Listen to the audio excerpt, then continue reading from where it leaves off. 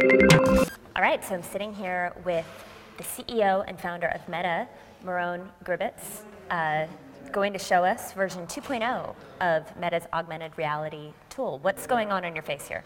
So on my face, I have a wearable computer that has a screen 16 times larger than Google Glass.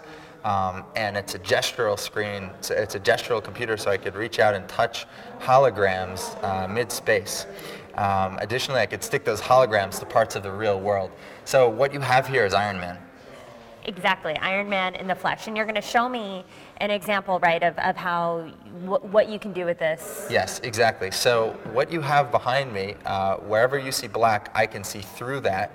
Um, and uh, we're going to take a look at the world's first augmented reality 3D sculpting tool um, that's actually connected to a 3D printer.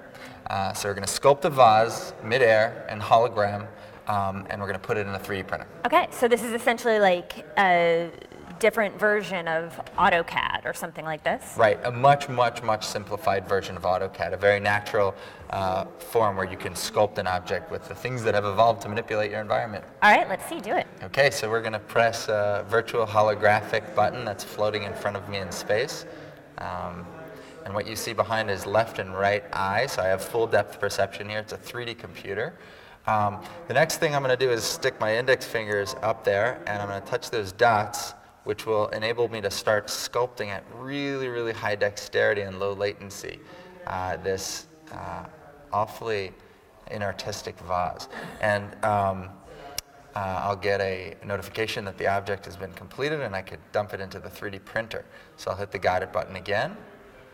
Um, and now this part is the most fun part, and I'm going to let you do it. Okay. All ready? I Let's like do it. You ready? the most fun pumped? part. I'm super pumped. Okay, cool. So, And that was it? That was all you really had to do? yeah, so just, all right, now uh, you could see the hologram in, in front of you, right? Uh-huh. Now just go out and reach it, reach in and grab it uh, with your fist. My fist. Just make a fist around it. One hand is enough. Oh, just one hand. Oh. and mo- you could kind of move it around, move it around the room, Whoa. and there you have a hologram sort of uh, sticking sticking out there. Now, if you open your hand really, really wide right now, and move it away from the vase, what I'll do is I'll come in there, and I'll move it around, and you can see the world's first collaborative computer. Bam.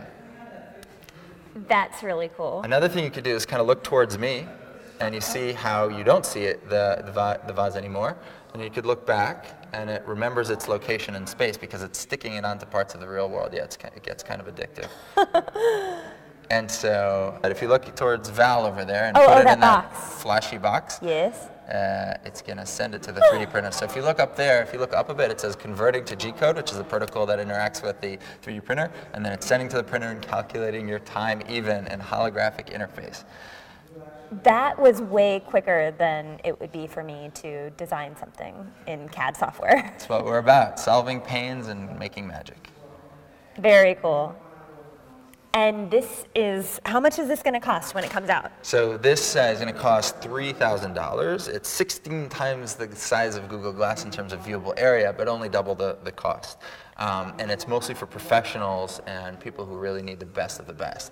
Uh, we also have a developer kit, which is $667, about four times the size of the screen of glass. And again, one screen for each eye, so you get your 3D. Okay, and give me an idea of who would buy this. Are you guys in competition with Google Glass, or, or what's the landscape here like? So we're not uh, really in competition with Google Glass. Google Glass is a type of computer that I call the notification machine. Low CPU, low GPU, pop-up notifications to the corner of your eye, very small screen. It's basically telling you where you're going next, how to get there, and when the next train there is. Like it's pop-ups. Right. Um, and we're building what, what I call the natural machine. The natural machine, again, is a, is a three-dimensional computer, so you can see the objects in 3D. So you need a projector for each eye, not only for one. Um, and it, it's a gestural-based computer, so you could reach out and touch the graphics naturally. Um, and if that's not enough, you could go ahead and stick them on parts of the real world. So it uses the real world as part of the app. Very exciting. Where can people pre-order this or buy this? On spaceglasses.com. Check right. us out. All right, Meron Gribetz from Meta. Thanks for showing us. Thanks so much for coming by today.